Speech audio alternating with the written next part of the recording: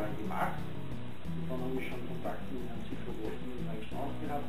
Die habe ich wiederum gekannt durch den Verkauf der Traktoren, weil der Herr Zifferwurst Traktoren zu Hause hat und da wohl äh, der Traktoren geliefert und betreut hat.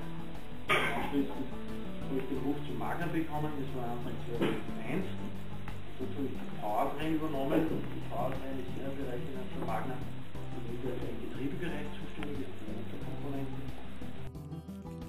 Wenn man jetzt ein Unternehmen leitet, dann kann man sicherlich äh, in schwierigen Zeiten oder auch in normalen Zeiten das Unternehmen so führen, dass ich das Maximale herausholen.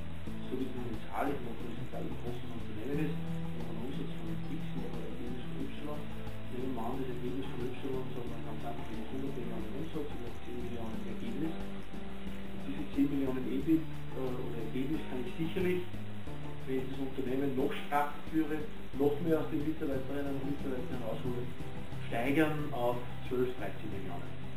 Das ist aber in meiner Ansicht nicht nachhaltig, aber sind wir genau bei dem Thema, was Sie gesagt haben, wie schaut das durchschnittliche aus. Und das wird dann auch, auch sicherlich vermissen werden, man hat man Burnouts äh, bei den Mitarbeitern,